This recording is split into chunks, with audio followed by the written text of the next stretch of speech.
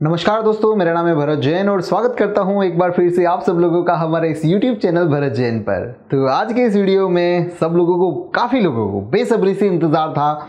वो जानना चाहते हैं कि जो आई पी कैमराज होते हैं, उसको इंस्टॉल कैसे किया जाता है, उसमें क्या क्या चीज़ें लगती हैं। तो उन लोगों के अंदर का जो कॉन्फिडेंस है वो इसी वजह से डाउन है क्योंकि उन्हें ये नहीं पता होता कि आईपी कैमरे का कन्फिग्रेशन कैसे करते हैं, उसका सिलेक्शन कैसे करते हैं। क्या क्या चीज़ें लगती हैं जब आईपी कैमरे को इंस्टॉल किया जाए? क्योंकि आईपी कैमरा को इंस्टॉल करना सबसे ईजी है एच कैमरा से। लेकिन नॉलेज नहीं होने की वजह से वो लोग ज़्यादातर एचडी जो ट्रेडिशनल कैमरा सिस्टम है, उसी को इंस्टॉल करते हैं।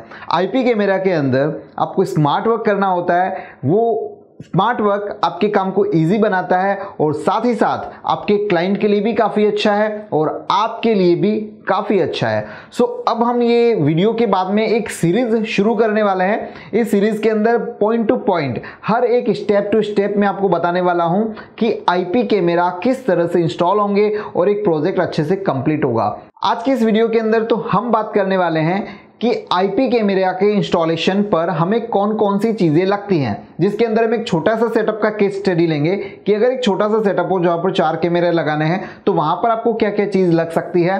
अगर आपके पास में एक छोटा, थोड़ा बड़ा प्रोजेक्ट आया जिसके अंदर सोलह कैमरे लगाने हैं तो वहाँ पर आपको क्या क्या चीज़ लग सकती है। और इसके बाद में बात करेंगे कि 16 से भी ज़्यादा कैमरे लगाने हैं, आपको 32 कैमरा में जाना है 64 में जाना है 100 कैमराज में जाना है तो वहाँ पर कौन कौन सी चीज़ें लग सकती हैं। तो चलिए आज के हमारे इस पावरफुल वीडियो को शुरू करते इस पूरी सीरीज़ को शुरू करते हैं लेकिन शुरू करने से पहले आप सब लोगों को पता है जहाँ से मुझे ये आइडिया मिला कि मैं आता हूँ हर रविवार रात को 9 बजे इंस्टाग्राम पर लाइव जहाँ पर हम बात करते हैं एक दूसरे से और काफ़ी सारे सीसीटीवी से रिलेटेड इलेक्ट्रॉनिक सिक्योरिटी सिस्टम से रिलेटेड सॉल्यूशंस आप सब सब लोगों के सामने लेकर आते हैं। सो so, मेरा आईडी है भरत अंडर स्कोर के जैन जाइए फॉलो करिए इंस्टाग्राम पर मिलते हैं हर रविवार रात को नौ बजे। सबसे पहले हम केस स्टडी लेते हैं कि अगर आपके पास में चार कैमरा इंस्टॉल करने हैं या फिर आठ कैमरा इंस्टॉल करने हैं तो वहाँ पर आईपी कैमरा के अंदर आपको कौन कौन सी चीज़ों की रिक्वायरमेंट होगी? तो वहाँ पर सबसे पहले मैं सेलेक्ट करूँगा कैमरास को। यहाँ पर आप जो कैमरा का सिलेक्शन करेंगे, वो सिलेक्शन होगा आपके क्लाइंट के बजट के अकॉर्डिंग या फिर साइट की रिक्वायरमेंट के हिसाब से।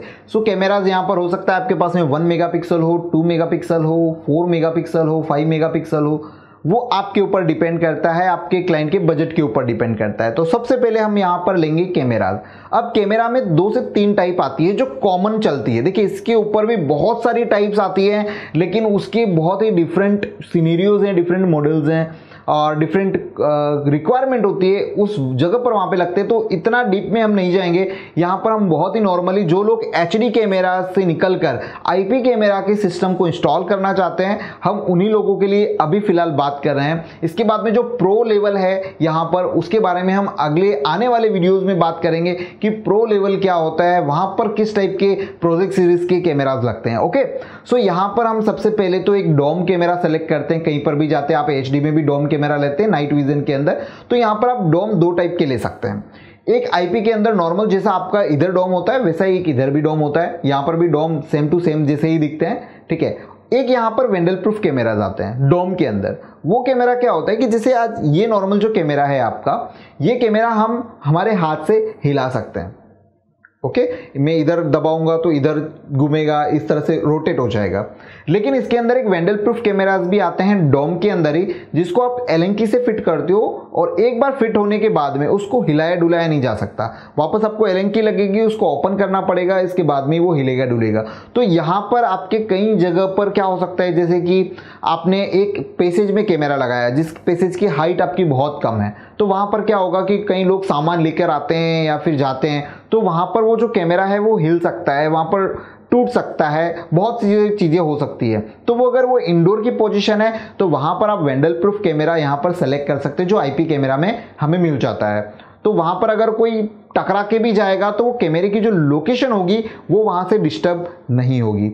और तीसरा जो आपको पता है कि यहाँ पर हम लोग जो यूज़ करते हैं, वो बुलेट कैमराज यूज़ करते हैं तो यहाँ पर भी same to same as it is IP के अंदर भी आपको बुलेट कैमराज देखने के लिए मिल जाएँगे। और एक और कैमरा यहाँ पर हमें देखने के लिए मिलते हैं, वो होता है विथ ऑडियो कैमरा कि यहाँ पर जैसे कि हम लोग एच डी कैमरा के सेटअप के अंदर ट्रेडिशनल सिस्टम्स के अंदर हम लोगों को अलग से ऑडियो किट लगानी पड़ती थी। हाँ अभी नो डाउट अभी के जो टाइम है पिछले करीबन एक डेढ़ साल से इनबिल्ट ऑडियो वाले कैमरा भी अब आ चुके हैं मार्केट में एचडी में। लेकिन आईपी के अंदर हमें स्पेशली इनबिल्ट ऑडियो वाला कैमरा ही लेना पड़ता था, क्योंकि अलग से इसके अंदर माइक हम इंस्टॉल नहीं कर सकते। तो यहाँ पर आप क्यूब कैमरा है, इस टाइप के कैमराज भी आप यहाँ पर सेलेक्ट कर सकते हैं। अब कैमरा अगर मैंने यहाँ पर पॉइंट कर लिया, मेरा एक कैमरा यहाँ पर लगेगा, दूसरा यहाँ पर लगेगा, तीसरा यहाँ पर लगेगा, चौथा यहाँ पर लगेगा, ठीक है? अब यहाँ से मुझे एक कैट सिक्स केबल यहाँ पर से मुझे अपने एनवीआर तक लेके जाना है। अगर यहाँ पर साइड छोटी है आपकी ओके तो आप क्या करोगे कि वो जो चारों केबल हैं, वो चारों केबल आपके एनवीआर तक आएँगे ओके अब एनवीआर के पास में, आपके पास में लगेगी एक स्विच ये कैट सिक्स केबल लगा लिया R J forty five connector से आपने कनेक्ट कर लिया। अब आपके पास में यहाँ पर लगती है स्विच अब ये जो स्विच होती है, उसमें अलग अलग टाइप आती है। एक हो जाती है यहाँ पर आपके पास में नॉर्मल जो हम लोग नॉर्मली स्विच यूज़ करते हैं। दूसरी स्विच होती है, जो पीओई स्विच आती है, जिसके अंदर स्विच के अंदर से ही पावर जाएगा। और तीसरी स्विच आती है यहाँ पर आपको गीगा पीओई स्विच ओके? तो ये छोटा प्रोजेक्ट है, हमने यहाँ पर पहले केस लिया है छोटे प्रोजेक्ट का, जहाँ पर मैं चाहता हूँ कि मेरा बजट सबसे कम लगे। तो यहाँ पर आप दो तरीके कर सकते हैं। सबसे पहला तरीका बजट घटाने के लिए कि आप रेगुलर स्विच यूज़ कर सकते हैं। और जो आपने कैट सिक्स केबल आपने लेंग किया हुआ है, ये सिर्फ़ एक जुगाड़ है, लेकिन चलता है। बजट कम हो जाता है क्लाइंट का और चलता है। कोई ज़्यादा बहुत बड़ी प्रॉब्लम यहाँ पर हमें देखने के लिए नहीं मिलती है। हमने एक रेगुलर नॉर्मल स्विच ले लिया, जो आपने कैट सिक्स केबल आपने लगाया हुआ है। कैट सिक्स केबल में आठ कोर होती है मतलब चार पेयर होती है। मतलब यहाँ पर आपकी जो कोर वन है तो उसमें one, two, three and six ये जो चार कोर हैं, यानी कि ये दो पेयर हैं, इसमें आपके डेटा का लेन देन होता है। और बाकी की जो चार कोर हैं, यानी कि टू पेयर हैं, उसके अंदर हम लोग पावर सप्लाई प्रोवाइड कर सकते हैं। तो यहाँ पर आपको जो आर जे का जो कनेक्टर है, वो इस तरह से बनाना पड़ेगा, जिसके अंदर आप स्टार्टिंग की जो तीन पेयर हैं, वो आप एक साथ में ले लीजिए, और जो चौथी वाली पेयर है, जिसके अंदर ब्राउन व्हाइट ब्राउन है, उसको आप पावर के लिए छोड़ दीजिए। तो कैमरे साइड से आप डीसी कनेक्टर आप लगा लीजिए, और यहाँ पर जहाँ पर आप नॉर्मल स्विच लगा रहे हैं, क्योंकि नॉर्मल स्विच सस्ती आती है और उसके साथ में आप यहाँ पर पावर सप्लाई भी एक अलग से लगा दीजिए। तो यहाँ पर क्या हो गया? आपका कैमरा हो गया।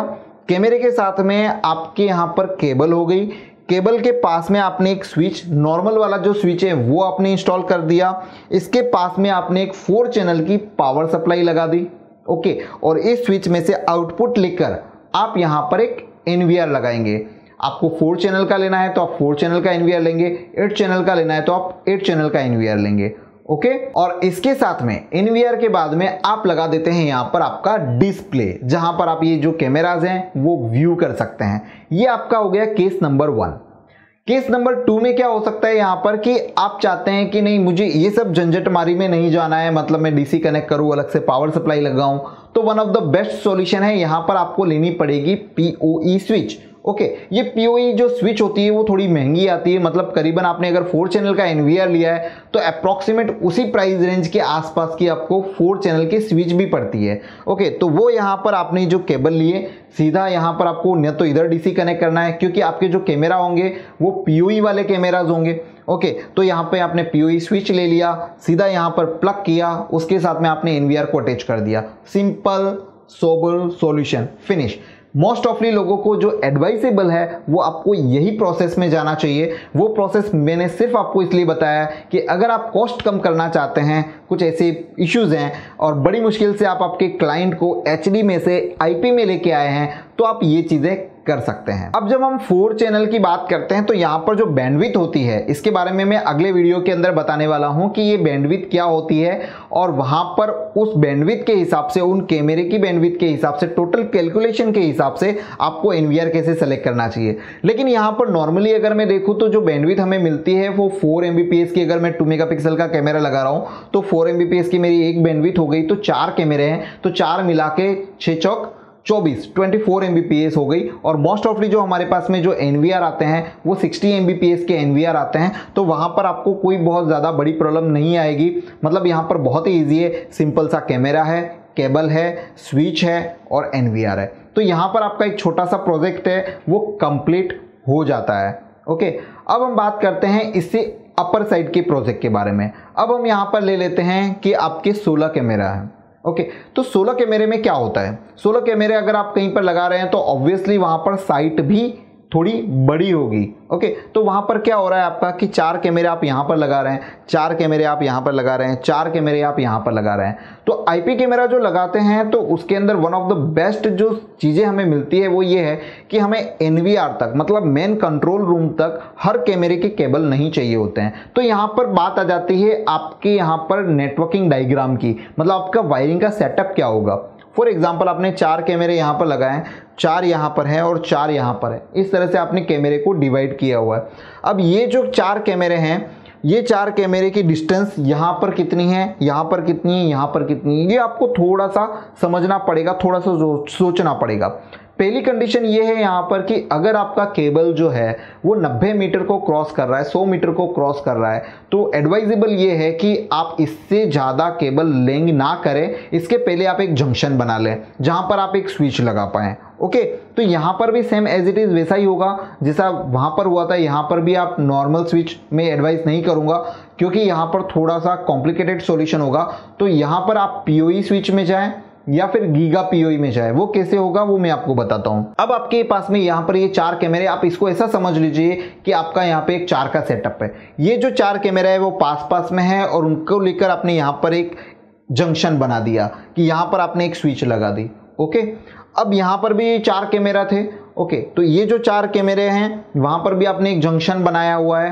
ओके? और ये जो जंक्शन है, वो भी आपका एनवीआर तक आ सकता है। तो यहाँ से आपने चार सब कलेक्ट किए, एक जगह पर आपने स्विच लगाई, वहाँ से एक केबल चलकर आपका एनवीआर तक आया। सेम एज इट इज़ आपके यहाँ पर भी चार कैमरा थे। चार कैमरा से जंक्शन चला स्विच लगाया स्विच के बाद में एक कैमरा एक जो केबल है, वो आपका एनवीआर तक आया। सेम एज इट नीचे भी और सेम एज इट इज़ उधर भी। ओके तो इस तरह से आपके चार, जो चार चार के जो जंक्शन बन रहे थे, उन सबके केबल आपके सर्वर तक आ रहे हैं। मतलब अभी यहाँ पर सर्वर तक आपके पास में कितने केबल आ रहे हैं? टोटल चार केबल आ रहे हैं। समझ रहे हैं? यहाँ पर अपनी चार स्विच लग गई तो इस पूरे प्रोजेक्ट में हमारा क्या क्या लगा? हमें एक तो कैमराज लगे। कैमराज के साथ में अभी तक हमारे चार स्विच लग चुके हैं। अब हमें एनवीआर के पास में एक और स्विच लगाना है। अब यहाँ पर पिक्चर में आती है गीगा स्विच ओके तो अब यहाँ पर क्या हो रहा है कि ये जो चार कैमरे थे और इस स्विच के पास में लोड हो गया हमारा करीबन 24 फोर का। यहाँ पर भी हमारा 24 फोर का हुआ, यहाँ पर भी हमारा 24 फोर का हुआ ओके अब यहाँ पर जो स्विच लगने वाला है, जो सर्वर रूम में एनवीआर के पास में लगने वाला है, वहाँ पर 24 फोर मल्टीप्लाइड बाय फोर मतलब कितना हो गया? करीबन आपका 100 एमबीपीएस के आसपास का लोड हो गया.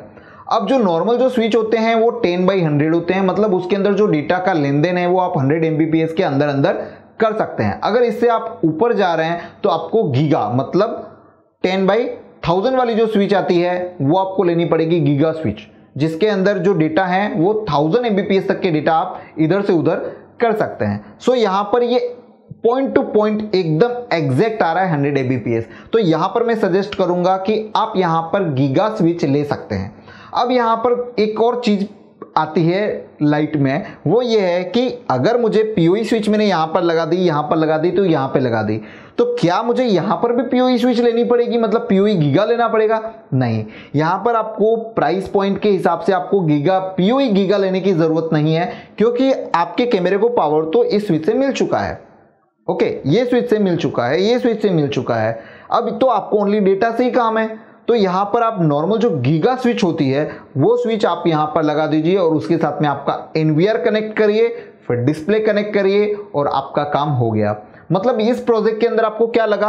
आपके 16 कैमरा यूज़ हुए, चार आपकी पीओई स्विच यूज़ हुई, एक आपकी आठ पोर्ट की गीगा स्विच यूज़ हुई ओके एक एनवीआर उसके अंदर हार्ड ड्राइव और एक डिस्प्ले तो इस तरह से आप आराम से जो सिलेक्शन है, वो आपने कर लिया। यानी कि इस पूरे आईपी प्रोजेक्ट के अंदर आप कैमरे का सिलेक्शन करते हैं, उसके साथ में आप स्विच का सिलेक्शन करते हैं, आपको कौन सी स्विच है, लेनी है, नहीं लेनी है, और इसके बाद में आप सिलेक्शन करते हैं आपके एनवीआर का। अब यहाँ पर भी बीट रेट आती है। अब फॉर एग्ज़ाम्पल यहाँ पर आपके पास में 24 फोर हुए थे, यहाँ पर भी 24 यहाँ पर भी 24 इधर भी 24 तो यहाँ पर ये जो टोटल एमबीपीएस कितना हो रहा है मतलब कितनी बैंडविथ हो रही है? करीबन हंड्रेड के आसपास। तो ऑलवेज याद रखिएगा, वैसे अभी तक होता नहीं है।